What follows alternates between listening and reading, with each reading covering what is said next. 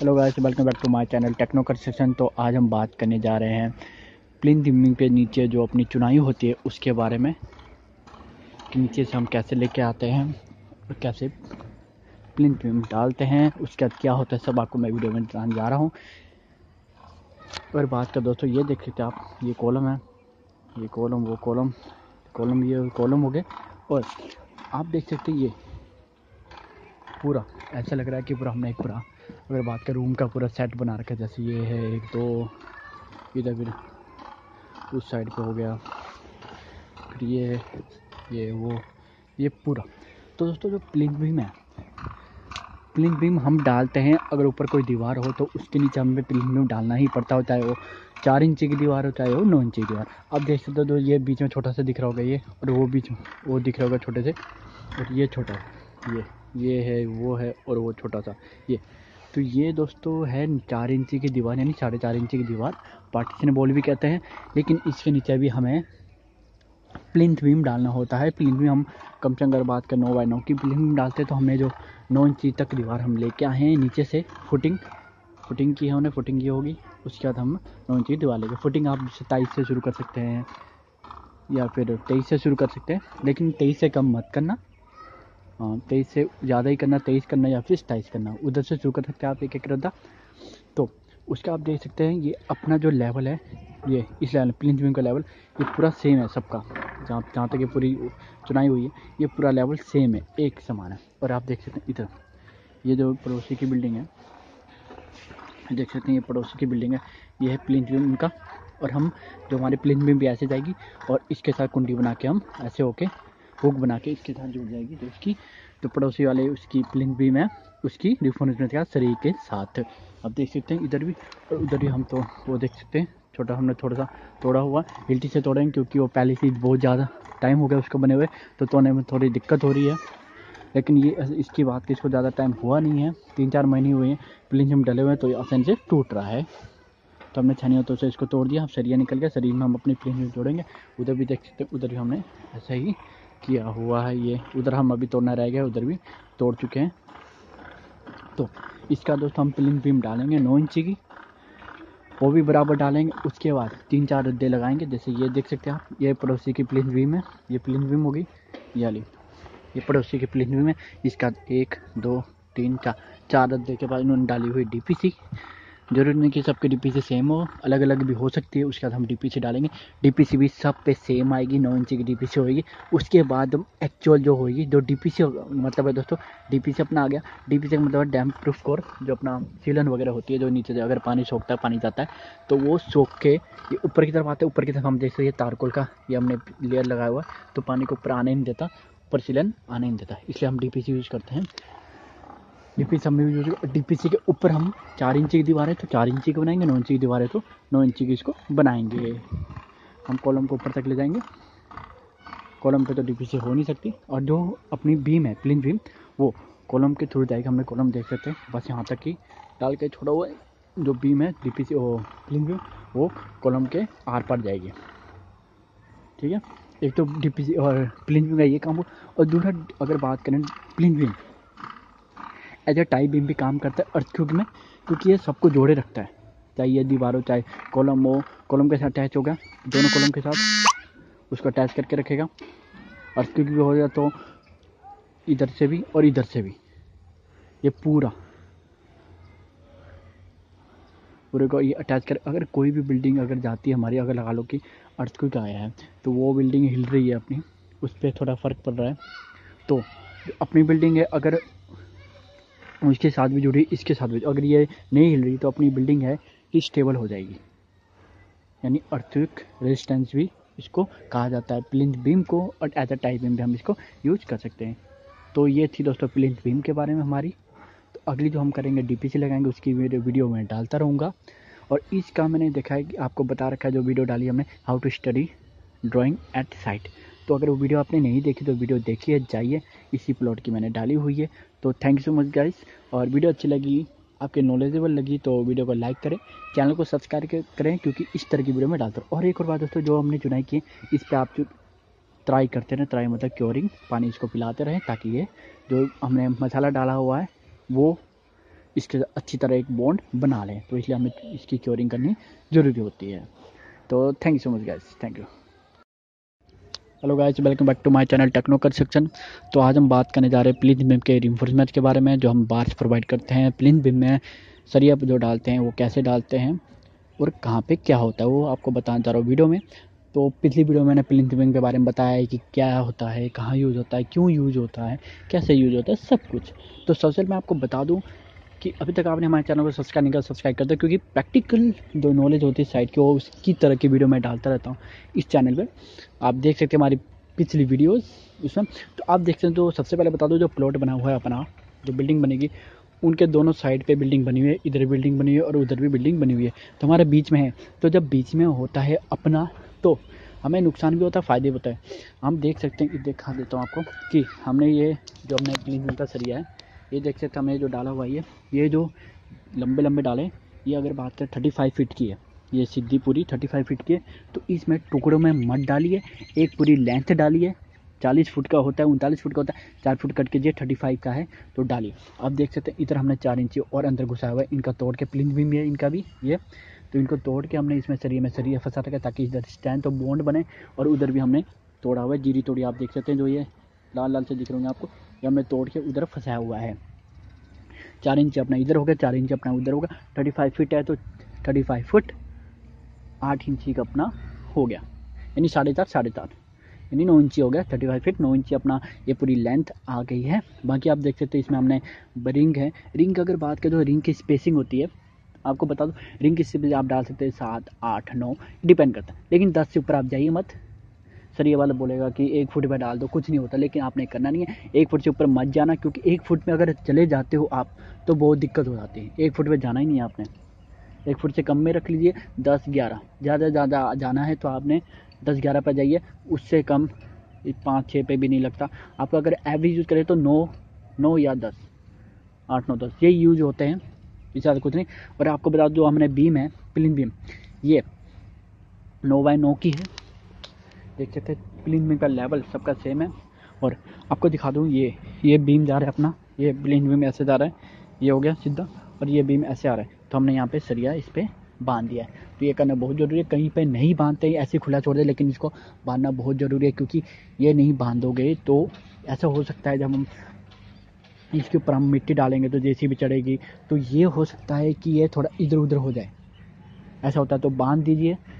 Concrete डलेगा क्योंकि binding wire का यूज़ ही है इसको टाई अप करना बार्स को। तो ये तो चीज़ हमारी बीम्स के बारे में आप देख सकते हैं जो हमारी ये है। ये बीच में पार्टीशन है। जो बीच के आप देख सकते हैं ये वाली वॉल तो ये पार्टीशन वाली वॉल है। ये चार इंची की वॉल है तो हमारी जो ये बीम है बीम हम सेम रहेंगे सब उसमें नौ इंची के। नौ इंची के बाद अपनी आएगी दो तीन रद्दे आएँगे उसके बाद दो तीन रद्दे के बाद अपना आएगा आ, कितने का आएगा अपना? तो दो तीन बाद अपनी डी पी डी पी के बाद अपनी चार इंच की दीवार आएगी। तो थैंक यू सो मच आज फॉर बात अगर वीडियो अच्छी लगी, वीडियो को लाइक करें चैनल को सब्सक्राइब कर थैंक यू मच नमस्कार दोस्तों, स्वागत है आपका हमारे चैनल पे टेक्नो कंसल्ट में। तो आज हम बात करने जा रहे हैं प्लिंथ बिम के बारे में। मैंने पिछली जो वीडियो डाली है, उसमें प्लिंथ बिम के बारे में कहाँ पे, कैसे, क्यों रिफोर्समेंट क्या यूज़ करते हैं, इसमें रिंग का साइज़ स्पेसिंग कितनी होनी चाहिए, और किस साइज़ की बीम होती है प्लिंथ बिम क्यों यूज़ होती है, सब मैंने वीडियो पे पिछली जो वीडियो डाली, उनमें सब मैं बता चुका हूँ। तो अभी तक आपने हमारी वीडियो नहीं देखी तो पिछली वीडियो देख ले बिम के बारे में। आज मैं आपको ये वीडियो डालने जा रहा हूँ कि हमने प्लिंथ बिम डाल चुके हैं, उसके बारे में आप देख सकते हैं। हमने ये फट्टे लगा रखे हैं, फट्टे अगर आप लगाना चाहते हैं तो हमने फट्टे लगा रखे हैं। अगर प्लेट लगा के भी कर सकते हैं आप, जो मर्ज़ी आपने करे, देखिए प्लेन पे हम डाल चुके हैं। ये देख सकते हैं, सब में हमने डाली है। ये एक से अगर बात करें तो ये पूरे रूम का एक पूरे सेटअप बना दिया हमने। चारों तरफ़ का, कि कहाँ कहाँ पे रूम है, कहाँ कहाँ पे क्या है, सबका हमने बना दिया है इस पर तो इस पर हमने फिर प्लेन डाला है ताकि चाहे ये चार इंची की बॉल है, चाहे नौ इंची की बॉल है ऊपर की जो है तो ये हमें डालना पड़ता ही है और कॉलम का हमने देख सकते हैं कॉलम तक हमने डाल चुके कॉलम को हमने खाली छोड़ा है, क्योंकि हमने प्लिंथ बीम के जो सरी है, उसमें फंसाने थे, और जो अपना ये पूरा आप देख सकते हैं, पूरा लंबा जो बीम जा रहा है, इसमें पैंतीस फुट का है जो अपना एरिया लंबाई इसकी तो चार इंच हमने इधर तोड़ा, चार इंच हमने पड़ोसी का तोड़ा, क्योंकि चार इंच अपनी दीवार है। तो अपना लगा लीजिए आप पैंतीस फुट आठ इंच हो गया। तो दस इंची के आसपास लगा लो तो आपको पाँच, आठ इंची है तो सात इंची पैंतीस फुट सात इंच आपको सरिया काटना पड़ेगा पूरे एक लेंथ में से। अब इसमें टुकड़े नहीं डाल सकते।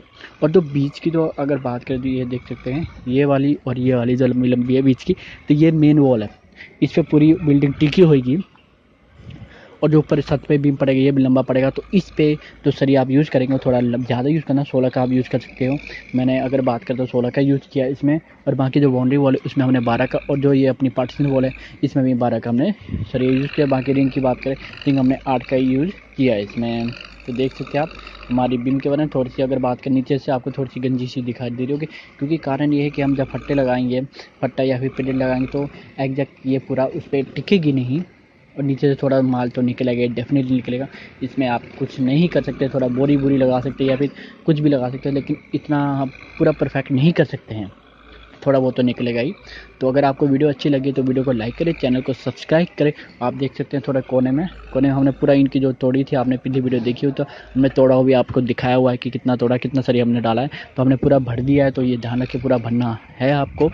तो थैंक यू मच यार फॉर वॉचिंग दिस वीडियो अच्छी लगी, वीडियो को लाइक करें, चैनल को सब्सक्राइब करें, क्योंकि इस तरह की मैं वीडियो डालता रहूँगा फ्यूचर में। Thank you much hello guys welcome back to my channel techno construction तो आज हम बात करने जा रहे हैं जो हम सॉइल की फिलिंग कर रखते हैं प्लिंथ बीम के बाद। वो आज मैं आपको शो करने जा रहा हूँ, कितना फिल करते हैं, कहाँ तक फिल करते हैं और कैसे फिल करते हैं। आप देख सकते हैं, हमने ये फिलिंग कर दी है पूरी। ये देख सकते हैं और इसकी मैंने, हर एक स्टेप की मैंने वीडियो डाली है। प्लिंथ बीम का, इसका, इसकी नींव जो भराई थी, इसकी खुदाई की सब की मैंने वीडियो डाली। अगर आपने मेरी अभी तक वीडियो नहीं देखा, जाइए चैनल पर जाइए और वीडियो देखिए। वीडियो अच्छी लगी, वीडियो को लाइक कर दिए और चैनल को सब्सक्राइब कर दिए, क्योंकि इस तरह के मैं वीडियो पाता रहूँगा साइड से रिलेटेड।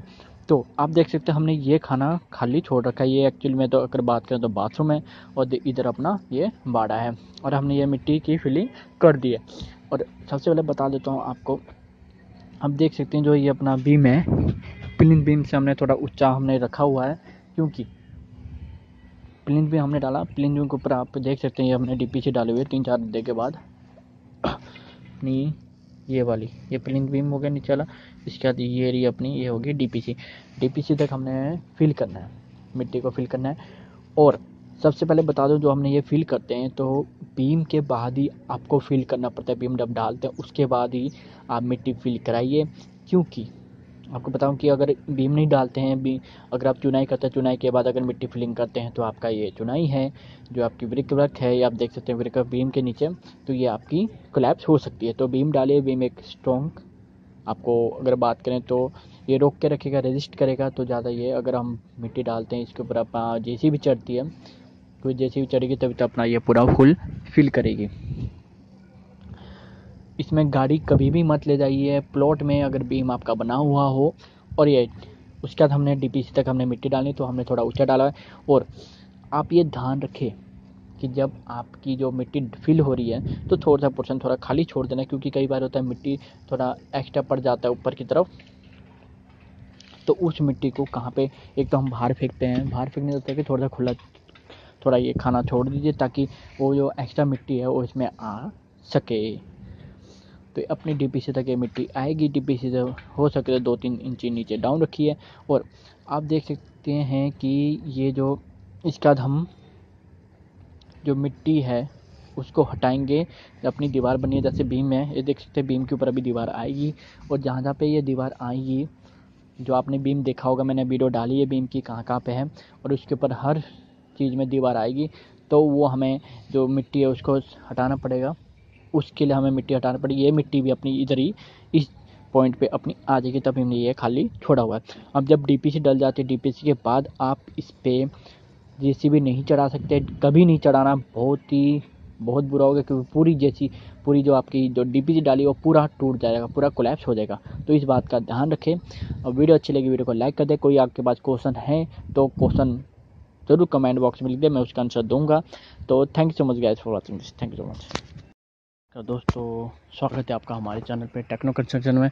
तो आज हम बात करने जा रहे हैं जो बीम के ऊपर हम ब्रिक ब्रिक करते हैं डीपीसी तक। उसके बारे में आप देख सकते हैं, हमने बीम डाला हुआ है। बीम के बाद हमने डाल दी है हमने मिट्टी, पूरे सोयल हमने डाल दिया। उसके बाद हमने जहाँ जहाँ पर बीम थी, जहाँ जहाँ पे हमारी दीवार खड़ी होनी थी, वहाँ पर हमने मिट्टी हटा के वहाँ पे अभी चुनाई शुरू कर दी। आप देख सकते कॉलम कॉलम हमने इसलिए डाला क्योंकि अगर ब्रिक वर्क आप देखते हो, तीनों साइड से हो जाएगी। तो चौथी साइड से थोड़ा सा हम प्लेट लगा के हम इसको डी पी सी लैब तक लाएँगे। डी पी सी के बाद ऊपर प्रॉपर इसको फर्मा लगा के एग्जैक्ट पोजिशन पर इसकी कॉलम को खड़ी करेंगे। तो हम अगर बात करें दोस्तों, आप देख सकते हैं पिछले इधर की तरफ़। तो इन्होंने अपना डी पी सी लगा हम हमारी डी पी सी भी सेम है। अगर बात करें तो चार रद्दे लगेंगे अपने बीम के ऊपर।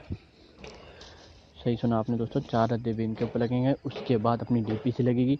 डी पी सी अगर बात करें दोस्तों, जो चालीस एम एम यानी डेढ़ इंची की लगेगी डी पी सी उसके बाद ऊपर आप या तो बारह फुट वाली सीट या पन्नी लगा सकते हैं या फिर आप उसमें तारकोल की एक लेयर बिछा सकते हैं। जैसे अगर बात करें पड़ोसी ने तार को लेयर बिछा रखी, इसकी वीडियो मैंने डाल दी है। कैसी थी, कैसे बिछाई सब वीडियो मैंने डाली है चैनल में। जाइए और देखिए।